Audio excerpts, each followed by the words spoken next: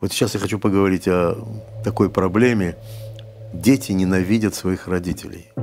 Очень много таких случаев. Оставляют их одних, забрасывают. Эти несчастные родители так и умирают в одиночестве, несмотря на то, что много детей. И дети просто, знаете, вот какое-то такое время. Это во всем мире происходит. Почему это произошло? Мы поднимаемся с уровня животного эгоизма на уровень эгоизма духовного или человеческого, но человеческое имеется в виду уже духовный уровень, которого нет в нашем мире. И поэтому мы теряем связь животную, которая была между нами.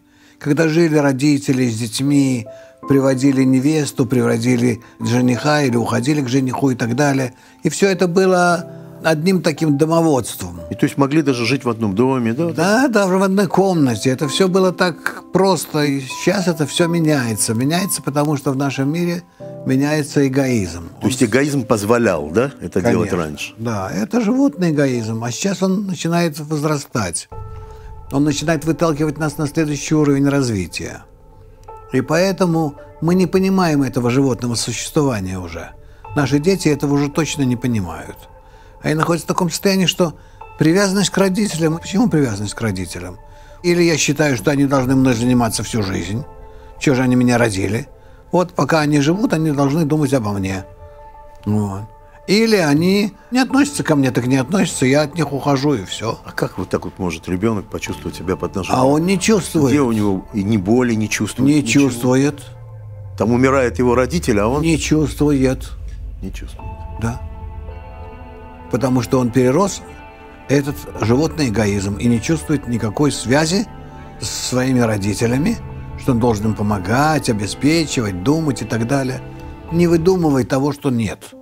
Этого уже не вернешь. В последнее время это уже все, все, все, все, все затихает, и сегодня нет. То есть, если ты им будешь помогать, то в этом случае ты им нужен. Ты можешь быть к ним близок. А если ты им перестанешь помогать, то ты им не нужен. Вот так это происходит. Если я как родитель буду помогать детям, это вы имели сейчас в виду? Да, да. То То- я им нужен, да? Тогда ты будешь нужен им, и ты будешь близок в какой-то мере. Меня сейчас смущает только одно, что вы обобщаете очень. Существуют же Я говорю отношения. о тенденции и природы. Поэтому я обобщаю. Что дальше? Ну, в нашем поколении еще родители что-то могут дать. Направить, оставить э, детям то, что нажито ими и так далее. А вот в следующем поколении это вообще уже будет... э, Разрыв. Да, это будет такое отношение родителей и детей, что э, если будут у них духовные цели одинаковые, то тогда они будут как-то связаны через них. А если нет, то люди будут забывать вообще о своих родителях. И родители, откровенно говоря, будут тоже думать не о своих детях. Да? Да, не- не. А О чем родители будут думать? о том, как провести время спокойно со своими подругами, друзьями, Собаками, кошками. пожилыми, да. Вот открываются всякие клубы там, игры там в домино, я не знаю во что. Что тут хорошего вообще? В чем тут? Ничего, человек должен просто понять, каким образом он должен быть связан сегодня друг с другом. Это совершенно не та система, не система животной земной связи. Это не система родители-дети, вот такая животная. Это система, когда родители и дети раскрывают каждый для себя общую для всех цель. И тогда эта цель их связывает вместе. Которая что? Это цель. Эта цель – постижение смысла жизни. И у родителей, и у детей, и у внуков она всегда одна. Значит, если они ее раскрывают, привязываются к ней, то тогда они ощущают и потребность быть в связи между собой, и помогать в этом друг другу. О какой цели э, жизни совместной вы говорите? Вот э, если у у родителей с детьми будет вот эта вот одна цель, как бы, которая они... то тогда родители смогут подталкивать своих детей к правильной цели.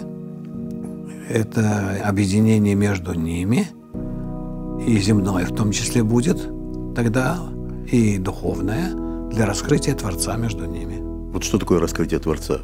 Скажите понятным Раскрытие языком. Творца – это раскрытие взаимной связи и любви, Только между ними? в первую очередь. Вот между это, это ячейка, дети и родители. Да. Раскрыть эту силу, да? А разве не хотят раскрыть сейчас? Ну, разве это, ну... Не вот- хотят. Ну как, я же... А кто им об этом рассказал? А кто их к этому подтолкнул? То есть вот, вот эти естественные связи, это не называется кто-то рассказал, то есть Нет, это, конечно. это мой отец, это моя, моя бабушка, это мои... Не- не- Нет, не- не- Никто ничего. жесткие вы сегодня. Я не жесткий. Это то, что раскрывается в мире. Я жесткий. Это вы сделали таким мир.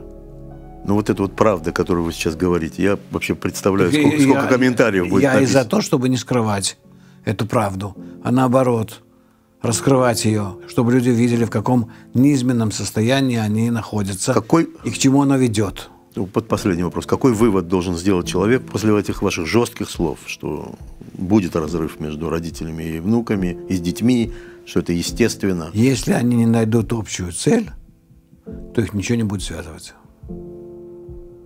Ничего не будет связывать. То есть вы призываете их искать вот эту единую цель. Да.